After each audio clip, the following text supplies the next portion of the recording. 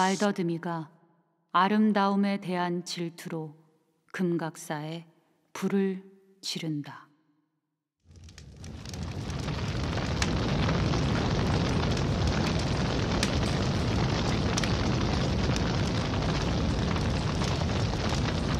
당신은 이제부터 복숭아를 정말 좋아하게 됩니다.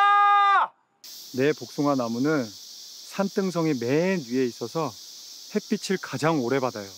국물과 함께 차갑고 미끄러운 것이 목구멍을 타고 넘어갔다. 나는 그것이 작은 물고기일 거라고 생각했다. 웃으면 안 되는데 나는 목구멍이 간지러워서 자꾸 웃음이 났다. 그 무덥고 무덥던 여름날의 콩국 한 그릇.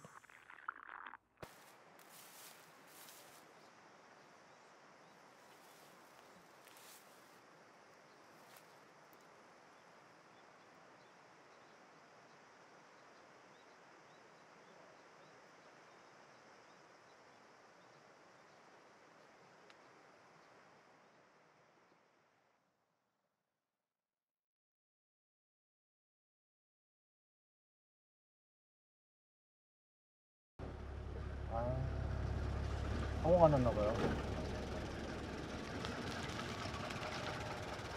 맛은 맛이 아니라 추억이에요.